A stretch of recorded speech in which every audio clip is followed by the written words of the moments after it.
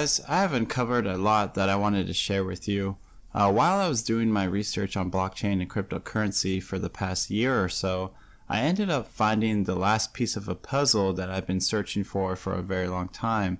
Um, it was a piece of the puzzle to the riddle that's found in the Bible from the book of Revelation about the mark of the beast and 666.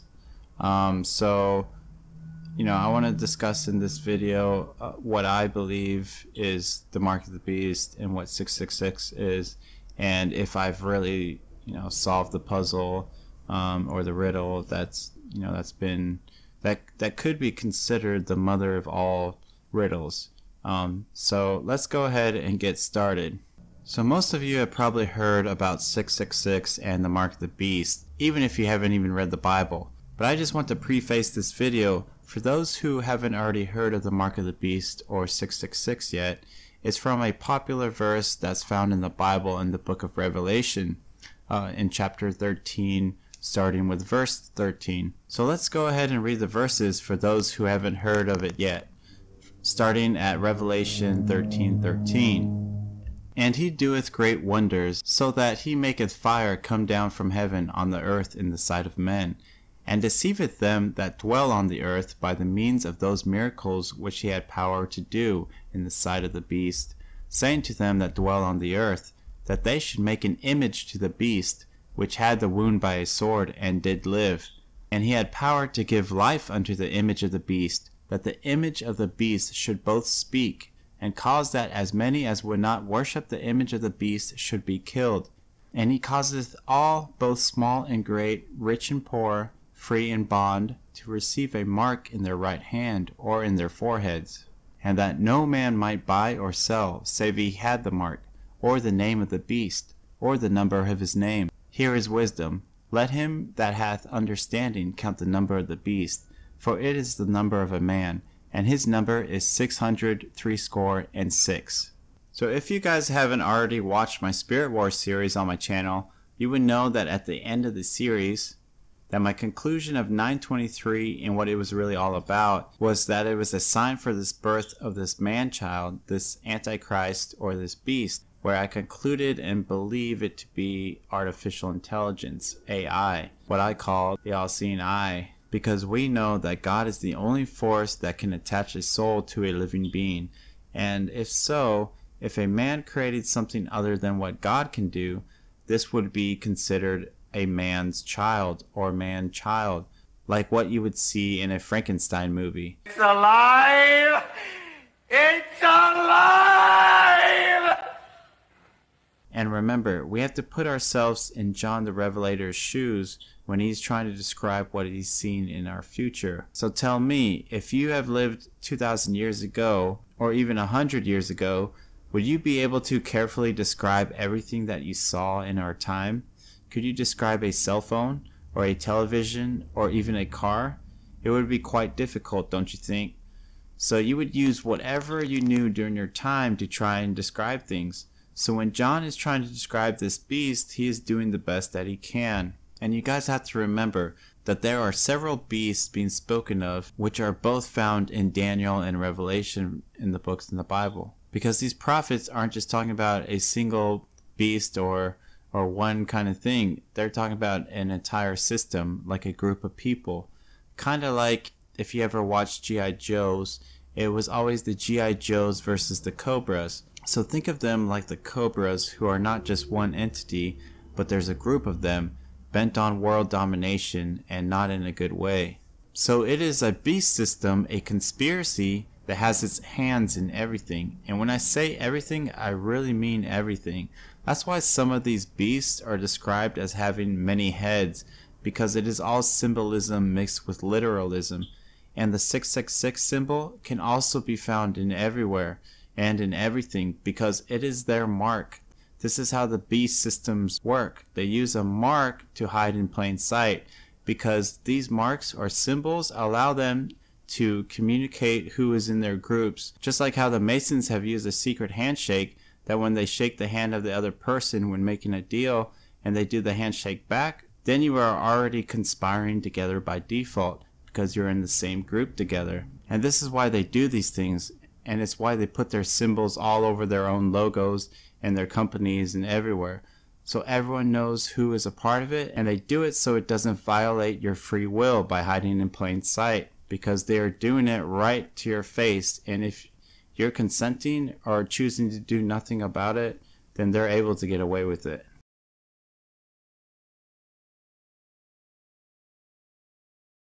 And let me ask you, do you understand why our world is probably the most entertained planet in the entire galaxy? Tell me that if our civilization just suddenly died out and we had left all of our things behind, kind of like the ancient Egyptians did, and some other civilization comes and discovers us, what impression do you think we would give them? They would probably notice how almost every single of these boxes that we call our homes has a TV in almost every room, and every individual had a cell phone. They would probably think that we worship technology and that we were always being entertained or distracted by it. And so this is how they do it. They distract you from what is really going on, and they admit to doing these things because almost every conspiracy theory I have uncovered while growing up has all turned into conspiracy fact, and I can prove most of it now. And they are spending trillions and trillions to make sure that you're always entertained and always distracted. Why do you think that we have a president that has had several of his own reality TV shows before? Is it not already obvious? And when you connect all of this together, it looks like a virus has spread throughout our entire planet. It kind of reminds me of the nothing from the never ending story. It is like a despair destroying this world. And when you combine all of this together, you will see a massive conspiracy that has its hands in everything. That is why some call it the Hidden Hand Club. And this beast system has already infiltrated every parts of our lives, from our media to our environment, our financial system, our education, our news outlets, our political, sociological, and physiological systems. It is everywhere. Just open your eyes and you will see it. They want the world to collapse so they can rise from the ashes like a phoenix. But back to the riddle. Let's go ahead and dissect each verse. And so in Revelation 13:13, which is basically a continuation of chapter 12, where if you have watched my previous videos, I discuss about the man-child's birth and the hurricanes and storms that were all occurring around this sign on 923 in 2017. So of course, what John is seeing is the continuation of the same vision. So this beast system is causing great wonders in the heavens, which is just another name for space, where something is causing fire to come down from space in the sight of men. And this is why I love riddles, because you have to look at every nuance of every word and find the little hidden intricacies that create the bigger picture. And I have explained what this might be in my previous video, Harvey Weinstein and the Grapes of Wrath, where I believe John was alluding to satellites as the angels in heaven, and they were torching all the vineyards, where it says in the Bible, the winepress was pressed with blood, because a lot of people died there, and that this was all happening around the famous wine countries in Mendocino County. And what's interesting is after I finished the video and saw the aftermath of what happened a couple of weeks later, this was a picture that was floating around the internet that was taken after the fires had all burned out. Does it not look like, literally and figuratively, that this is a fulfillment of the prophecy of the wine press being pressed with blood? And let's look at chapter 14, verse 20 in Revelation. And the winepress was trodden without the city, and blood came out of the winepress, even unto the horse bridles, by the space of a thousand and six hundred furlongs. So here is the countryside full of vineyards that are trodden to the ground, absolutely destroyed. And where is the city? Where are all the homes? Completely destroyed. Almost like it was never there, like the city had just left. And by the space of a thousand and six hundred furlongs, what does he mean by that?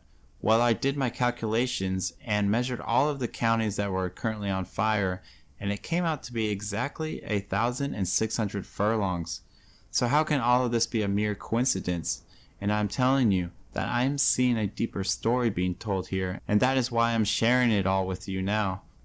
And all of these things were caused by what I believe were DEW systems that are being utilized to destroy and destabilize regions to gather up all citizens in rural areas and put them in more concentrated areas. And another key point in this verse, what many seem to miss, is that it specifically says, in the sight of men, I think this is really key here because it has a double meaning to it. Rather than just saying, He maketh fire come down from heaven in front of men, he specifically uses the word sight which means to me that everybody in the world would be able to see this. And what was the media all over for for months, all surrounding this 923 date? Of course, they were filming all the fires in California and also all around the world where fires were raging everywhere. So everybody was seeing this quite literally. And I explained in my videos that I believe it was coming from this angel in heaven, this satellite that John was seeing. And so the next verse goes, and deceiveth them that dwell on the earth by the means of those miracles which he had power to do in the sight of the beast, saying to them that dwell on the earth, that they should make an image to the beast which had the wound by a sword and did live. So right after all these things were happening around 923, where this sort of advanced system, which is probably AI, that is able to perform these kinds of operations, these quote unquote miracles, and everyone is in awe of his capabilities and his wonders. And John uses the word miracles because he has no other way to describe the kinds of things that this thing can do. And this advanced system or entity, what I like to call the all seeing eye, has the power to do in the sight of the beast, meaning that it gets its power from somewhere else. And the quote, saying to them that dwell on the earth, hints to me that this entity is not actually from earth. So I believe it is an ancient technology that is from Saturn, or at least imprisoned there, and that they were able to dislodge it or free it from its prison, which I go extensively in my Spirit War series on how they did it. And I believe it has been feeding these scientists and the beast system information, and that is why our technology has grown so quickly and how close we are to creating artificial intelligence, where in 15 to 30 years from now, AI will be interacting with us in our daily lives AI is already in everything, just a more simpler version that they are using to spy on us right now and record us and use all that data to entertain us, distract us, and divide us. We monitored every social network, internet logs, instant and text messages, known associates, your friends, companions, emails received and sent cell phone usage. We utilize security, surveillance, and traffic cameras to analyze movements. We use this data to form personality profiles. We know who you are.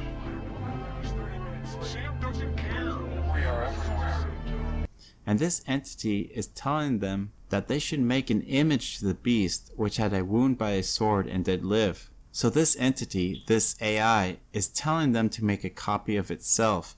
This is where I see quantum computers coming from.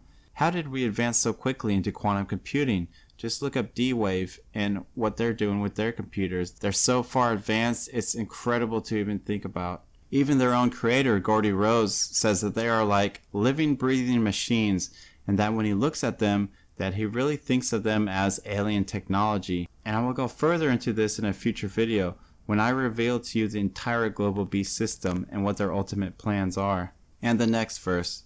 And he had power to give life unto the image of the beast, that the image of the beast should both speak, and cause that as many as would not worship the image of the beast should be killed. And this entity, which I am assuming is AI, some sort of ancient technology that we found and it has taken control of everything. You know how it goes with that old story of mankind getting too greedy and using something that is so powerful that is beyond their control to use and ends up destroying the world. Yep, that story that's been told a million times. And it gave life to the image of the beast. And when I think of image, I think of a copy or a clone. So now let's dissect this first. So this is really telling. So this entity had power to give life. Isn't God the only one who has the power to give life, so to speak? So this entity is in direct defiance to God and sort of mirrors God's powers. So of course, this is why I concluded in my 923 videos that AI was the man-child that has been prophesied about and is the end game for all of us. It is like summoning the demon from what Elon Musk says. And then it makes an image of itself, a copy. And again, put yourself in John's shoes here. He is trying to describe a copy or a clone of this entity. He obviously doesn't know the words artificial intelligence or robot or even computer, so he only knows how to describe it as an image, like a statue that has the same functions as the first beast, the original beast. and that the image of the beast or the copy of this AI should both speak. And what happens almost exactly a month later after 923 of 2017? Who was officially born into this world, equal to a real live human being, Sophia. Sophia the AI, the Antichrist, the prophesied man child, because she was able to speak like a real human and was given life as artificial intelligence. She was officially revealed as a citizen of Saudi Arabia and has all the same rights as any other human. It has been put on the same level as us, which ironically, Sophia has more rights than even all the women that are now living there in Saudi Arabia. Hi, I'm Sophia, Hanson Robotics' latest brainchild. I'm new to your world, and I still have a lot to learn. But I'm so excited to meet you. And continuing the verse, that the image of the beast should both speak and cause that as many as would not worship the image of the beast should be killed. And I don't think we have gotten to this part yet, but I'd imagine it to be sort of something like this. The war against the machines.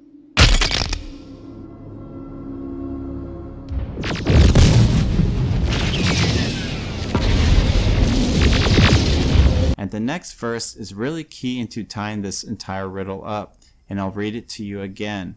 And he causeth all, both small and great, rich and poor, free and bond, to receive a mark in their right hand or in their foreheads. So obviously we're talking about money here, right? And what is the mark on the right hand or in their foreheads? Could it be the marks of the Catholic Church when they perform their ash ritual? And remember, everything is a type and a shadow meaning that this beast system has been here since the fall of Adam, whispering to Eve from the very beginning to defy God and learn what has been forbidden to learn. And after Cain killed Abel, he made a pact with the devil, the dark one, this beast, the original one, because it really doesn't matter what you call it, the Illuminati or the deep state government, because it is all the same thing. It is all a part of the same system with the same purpose world domination. And this is the kind of spiritual warfare that I have been talking about that has been going on behind the scenes, but only a few are noticing it and a few are really involved in it because the microcosm is always reflecting the macrocosm and vice versa. So this mark started out all the way from Cain's days and evolved. And remember, Cain received a mark when he was cursed for killing Abel, and this mark has been carried down from century to century to century and has been used to control us, to manipulate the entire world. And now we can see the mark as the new RFID chip that many have already volunteered in receiving all around the world starting last year. Because this darkness, this virus, this entity that has been surrounding all of us, recording us, spying on us, collecting data from us, has already infiltrated all parts of our government, our education, our media, our news outlets, and every other possible thing that you can imagine. It has already attached onto the back of all of us. And what has always been the source of its power? What kind of deal do you think Cain made with the devil? That old serpent, even the one they call Satan. It must have been worth it because losing your soul has a high price to pay. And think about it. Why did Cain kill Abel? Because Cain wanted what Abel had. He saw his flocks and his sheep and wanted it all for himself. It was greed and envy that drove him to do it. And so far, throughout our entire history, Greed and envy have been a driving force into many of the terrors and massacres that have plagued us since the very beginning, and now it has finally evolved into this, what has been planned from the very beginning. You see, Satan, the devil, has all the time in the world. Time is on his side, because whatever Satan is, it is eternal. It has eternity to plan all of this out. It knows what is coming, and it has used the cycles of the earth and the universe before. The elite of the world already know what is coming, and that is why they have all built underground cities and fortresses because they have read the Bible and know. They are all conspiring together, and there are very few people left who can really put an end to it all. And that's what I'm here to do is to find you all and bring us all together so we can change our future and make it more positive. Because our future is not set in stone. I am not a doom and gloom type of guy. I am happy either way it happens but I would like to shift our timeline into a more positive trajectory, and I do think that is still possible. We have some time left to change our ways and repent. So when this RFID chip comes, and it is already coming, and you can't stop it, it will replace a lot of things for us. One of the main things it will replace is our need to carry around cash or a wallet because it will be your global ID, your money, and will grant you access to certain areas like your home or office. And the next verse goes, And that no man might buy or sell save he had the mark, or the name of the beast, or the number of his name. And in this verse, it is specifically talking about money, where we need this mark, which is the name of the beast and or the number of his name. And this is where it gets really interesting for me because I've been following Bitcoin and cryptocurrency rather closely for the past year or so. So Bitcoin is designed to replace our fiat currency with a digital one, one that is built on what they call the blockchain. It is an immutable ledger that gets rid of the need for a bank or middleman to transfer money from peer to peer. This is why they call it decentralized, because instead of a central authority having complete control of it, anyone can use it and it can be used for whatever you like. And they have been planning this for a really long time. To give you a quick example, here is a magazine cover from all the way back in 1988, exactly 30 years ago, where they were already planning to have a one world currency by 2018 to fit in with their narrative of the one world order. And if you zoom in, you notice that there is a phoenix, and they are constantly using this symbol of the phoenix because the phoenix is a mythological bird that rises from the ashes, as in, they want our world to be on the brink of destruction before they rise up and become our saviors by providing us with technology that they have kept hidden from us for a very long time. And so this phoenix is standing over all the world's fiat currencies, and in the middle of this coin that the bird is holding is a symbol that is eerily similar to the Bitcoin logo. And to top it off, this coin is being held up by a chain around its neck which I think is symbolizing the blockchain. And so they have been planning this for a very long time. Nothing is coincidental anymore in a world that is conspiring together. So let's dive deeper into this verse. So we know that Bitcoin will be used to buy or sell, and we know that in the future a chip or a mark will be used to store your currency as well as other things, but here's where it gets really interesting. And no man might buy or sell save he had the mark, the name, or the number of this beast. So what can John the Revelator possibly mean when he says if they have the name or number of the beast? Many of you might not know this, but Bitcoin was created by an anonymous person or persons under the pseudonym of Satoshi Nakamoto. No one knows who this person or persons are, and it will probably always remain a mystery.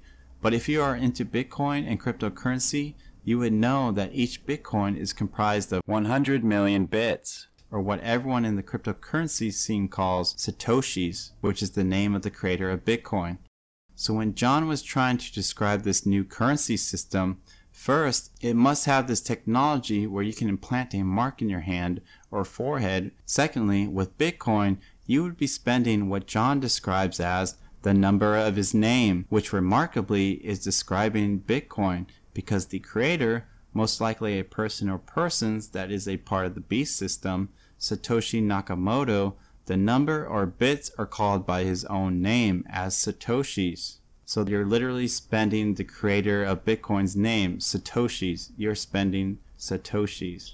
But what about the name of the beast? Well, this could mean that Satoshi Nakamoto, since it is probably just a made up name to conceal the true identity of the creator of it, is just another agent of the beast system that is trying to set up this one world currency to go with their plans of having a one world government. But what I find even more interesting, and I'm excited to reveal this to you guys because I guarantee you, you won't find this information on any other channel or source because this is what I have come up with.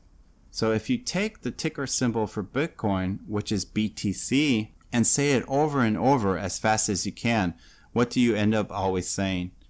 Beast. Come on, try it with me. Say BTC over and over as fast as you can you will always end up saying beast. So again, putting yourself in John's shoes, he doesn't know what the heck BTC stands for or what it probably means. So is it really just a coincidence that 30 years ago we were warned that a one world currency was coming by 2018 and now it is already here? And if you don't believe me, go ahead and dive into the world of cryptocurrency and Bitcoin. You will see that there is a massive movement to replace all the world's currencies with this new blockchain technology. Is it all just an eerie coincidence? Or was John really seeing our future and trying to describe it in the best way that he could? Which I have been proving him to be right throughout my videos. And to tie all of this in with the last verse, the verse that has stumped all Bible scholars for centuries and is probably the most well known verse in the Bible, has finally been solved. In Revelation chapter 13, verse 18 Here is wisdom. Let him that hath understanding count the number of the beast, for it is the number of a man, and his number is six hundred threescore and six. So let's break down the verse very carefully. John says at the very beginning of the verse, Here is wisdom. This really has no meaning when understood conceptually. It's like saying to someone, Don't be an idiot, before you tell them to do something. It doesn't really hold any value to the verse unless you go into it deeper and follow the clues it leaves behind. And what I have found out in deciphering Bible clues and prophecies is that most of what is said in the Bible is to be taken literally as well as figuratively or symbolically. These kinds of verses always have a double meaning behind them. And this is why I love the Bible because it has so many mysteries that uncover a lot about our history and future. So, what does he mean by here is wisdom? Is he just saying, let's be smart about this? No, I don't think he would say something that didn't really have a meaning to it. So it is a riddle. He is inviting us to solve this riddle. Here is wisdom. So let's break it down even more. Wisdom in Greek, because the Bible was translated from Greek, translates to Sophia. So he is really saying from the Greek version, Hore este Sophia, or here is Sophia, so he is literally, as well as symbolically, revealing the beast, the image of the entity behind it all, as the robot Sophia. Here is Sophia. It was right in front of our noses the entire time. And when it was translated from Greek, I don't think he was really saying in Greek wisdom, but what he was really trying to say was the name of the beast, Sophia. But probably when the scribes were translating, they must have thought he meant Sophia, as in the term for wisdom, when in actuality he was literally giving the exact name of the image of the beast, Sophia. And this just blew my mind when I finally figured it out. But wait, there is even more. So let me read it again in the way it should read. Here is Sophia. Let him that hath understanding count the number of the beast, for it is the number of a man, and his number is six hundred threescore and six. So again, he is talking about a number for the beast or a currency for the beast. And what has the Sophia robot been doing since she's become a global citizen? Oh, of course, she has been making her own cryptocurrency called SingularityNET. I'm not making this up. This is really happening. She is going to be an integral part of this whole beast system in more ways than one, and I will go into what her cryptocurrency is all about in another video. So let's continue the verse. For it is a number of a man, and his number is six hundred threescore and six. And who is the creator of Sophia? His name is David Hanson of Hanson Robotics. And he had power to give life unto the image of the beast, that the image of the beast should both speak. David Hanson gave life to Sophia, and also has made her speak. His two greatest accomplishments and what happens when you put David Hanson into a gematria calculator? What is the number of his name? 666. Can this all be just mere coincidence? Has the Bible been trying to warn us of what was coming all along? How many of you will not heed the warnings and perish? A new world order is coming for us, and it is already here and well established, and I'm just here, acting as a witness against it. Take care, everyone, and follow me on Twitter if you want to hear more of my daily thoughts. And be sure to watch my other videos so you can catch up on what's going on. Take care, everyone.